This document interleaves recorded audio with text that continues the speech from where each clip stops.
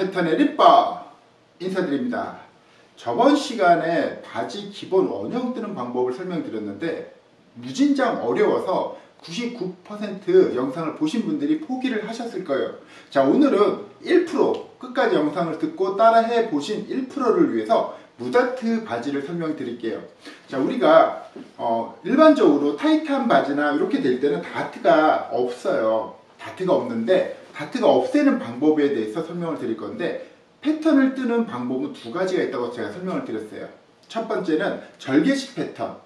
초보자들이 사용하기 굉장히 편한 거고 절중식 패턴은 좀 더 경륜이 있는 분들이 뜨기 편한 패턴이 있어요. 오늘은 쉽다 패턴에서는 여러분들에게 쉽게끔 가르쳐 드릴게요. 자, 첫 번째가 바지 원형은 뜰 줄 아셔야지만 쉬워져요.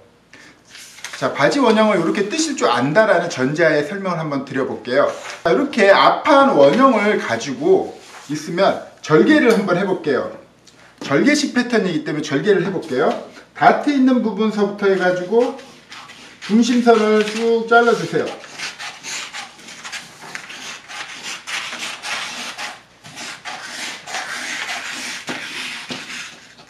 자 끝까지 자르지 말고 0.2mm 정도만 남겨놓고 자르고 다트도 잘라주세요. 자 이렇게 잘라주신 다음에 선을 이렇게 하나 접어서 선을 접어 놓으신 다음에 자, 이 중심선을 이렇게 그려주신 다음에 절개되어 있는 패턴, 절개되어 있는 패턴에 앞중심을 그대로 여기다 맞춰주시는 거예요. 요 절개선에다 맞춰주시고 고정. 밑단도 맞춰주세요. 이렇게 맞춰주시고 고정. 자, 이렇게 고정해 주신 다음에 자, 이쪽 부분, 왼쪽 부분에 해당하는 애를 다트와 다트가 만나게끔 이렇게 자연스럽게끔 다트와 다트가 만나게끔 접어주시는 거예요. 다트가 지금 무다트를 바지를 뜰 거기 때문에 다트와 다트를 만나게 했어요. 자 그러면 여기서부터 여기까지가 4분의 허리가 나오는데 다트가 아직 반인치가 있잖아요. 이 반인치를 없앨 거예요. 어, 디서 반인치 1.5cm를 여기서 쳐줄 거예요. 자 먼저 자 이렇게 놓고 카피를 한번 해볼게요.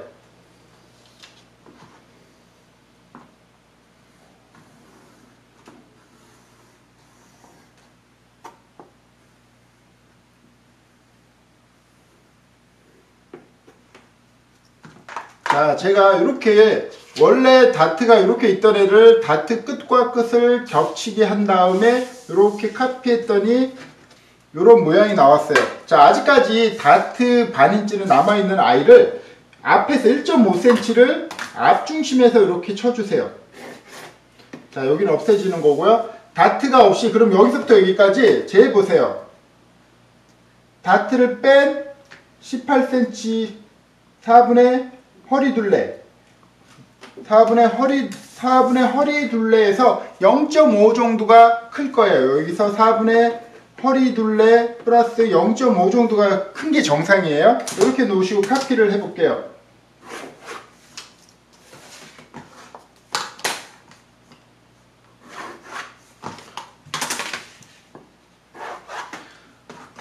자 이렇게 되면 무다트가 된 거예요. 어? 벌써 끝났어요 여러분들. 다트와 다트를 겹쳐주니까 다트가 없는 무다트가 됐어요. 자 그런데 주머니를 하나 제가 여기 만들어 볼 거예요. 주머니가 바지 옆에 바지 청바지 같은 주머니를 볼 건데 자 여기서부터 6cm 정도 떨어지고 6cm 정도 떨어져서 여기는 평행하게끔 이렇게 그려주시고 여기서부터 12cm 정도 여기서부터 12cm 정도 가신 다음에 올라가 주시고 굴려 주시는 거예요.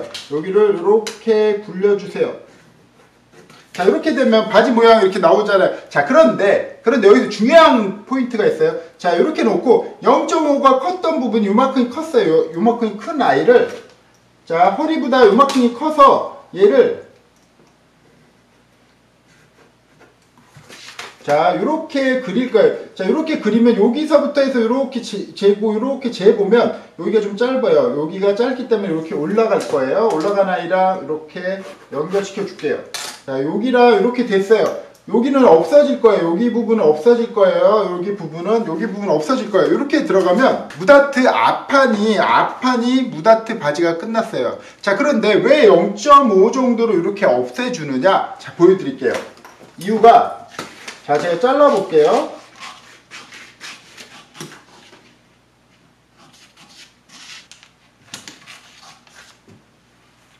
자 이렇게 0.5를 제가 여기 부분을 이렇게 잘랐어요. 자 이렇게 잘랐어요. 자 그러면 조금 있다가 바지가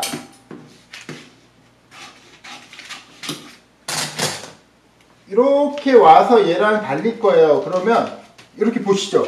보통 무다트 바지는 좀 타이트한 옷에 많이 써요. 그죠? 그러면 0.5 정도가 여기 와서 4분의 허리가 여기 맞았어요. 그럼 이렇게 와서 달리면 자 여기가 앞에 부분이 이렇게 뜨게 돼 있어요. 이렇게 뜨게 되면 보이시나요?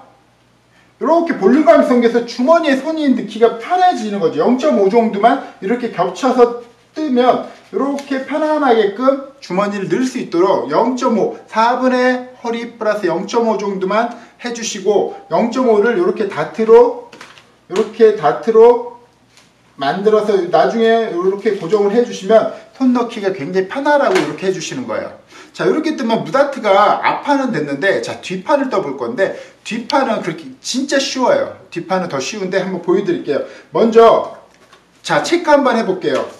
힙 부분을 원래 힙 부분 여기 부분을 쟀을 때 9반 정도가 나왔어요. 9반 그러니까 24cm 정도가 나왔거든요. 힙 둘레가 24cm가 나왔어요. 자 요번에 체크를 해볼게요. 힙 둘레를 체크했더니 22반이 나왔어요. 여기 부분이 22반이 나왔어요. 원래는 24가 나와야 되는데 1.5cm 정도 1.5cm 정도가 아까 겹쳐지면서 겹쳐지면서 힙이 줄어들었어요. 그죠? 자, 이 여기 부분이 지금 1.5cm 대략 2cm 정도가 지금 모자라고 있는 거예요. 힙 둘레가. 자, 이 부분을 뒤쪽으로 넘기는 거예요. 보여드릴게요. 자, 이번에는 앞 뒷판을 이렇게 카피를 해볼게요. 자, 뒷판을 카피를 쭉 똑같이 할게요.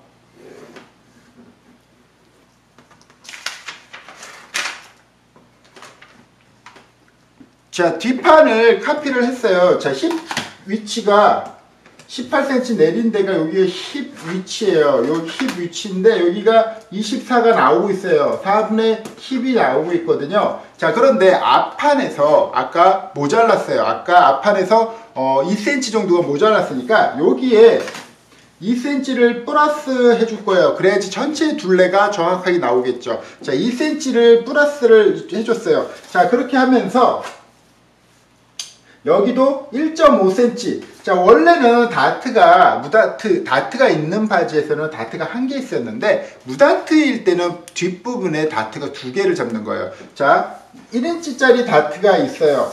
그리고 반인치 정도짜리 1.5cm짜리 다트가 하나가 더 있어서, 여기서 원, 여기서 1.5cm 더 플러스 해주시고, 이렇게 그려만 주시면 돼요.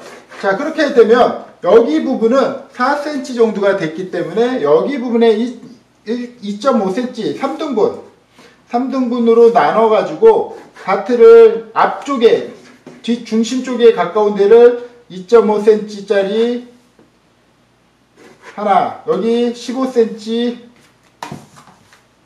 10cm 여기 기장 10cm로 여기는 2.5cm 하나 또 여기다가는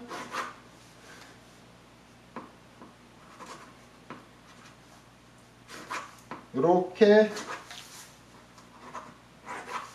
7cm 1.5cm 이렇게 잡을 거예요. 그 다음에 2cm 플러스한 애랑 얘랑만 이렇게 연결시켜 줄게요.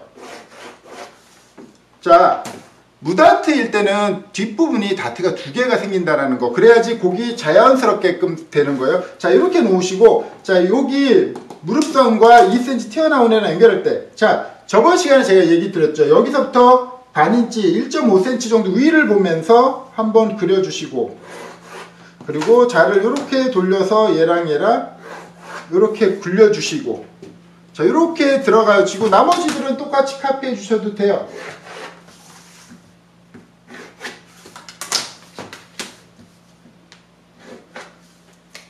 자 이렇게 들어가면은 무다트 바지가 끝난 거예요. 와우 너무 쉽죠? 자 이렇게 오늘 쉽다 패턴에서는 여러분들에게 다트 절개식 패턴으로 기본 원형을 포개해서 앞에 다트를 없애주고 뒷부분에 없어진 줄어든 양을 뒷부분으로 보내준다. 이게 무다트 바지의 원리예요. 그렇게 어렵지 않게끔 여러분들도 어, 기본 원형만 뜨실 줄 안다라고 하면 무다트 바지를 굉장히 쉽게 뜨실 수 있을 거예요 다음 시간에는 주름 바지를 한번 떠볼 거예요. 얘도 굉장히 쉬워요. 기본 원형만 아신다라고 하면 기본 원형만 아시면 오늘처럼 절개식으로 펼쳐서 뜨기 때문에 굉장히 쉬울 거예요. 자, 다음 시간 만날게요. 안녕!